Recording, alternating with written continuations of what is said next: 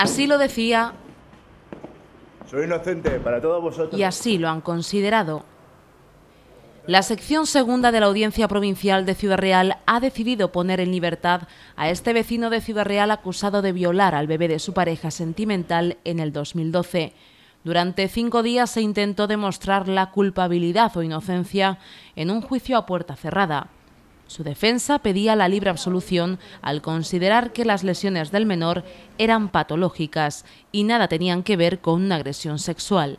La acusación particular pedía 15 años de prisión para él y para su pareja y madre del bebé.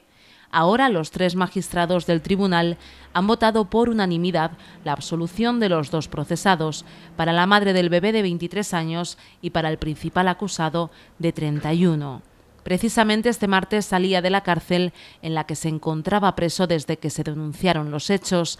Ahora está en libertad y en los próximos días la sección segunda de la Audiencia Provincial dictará una sentencia absolutoria para ambos.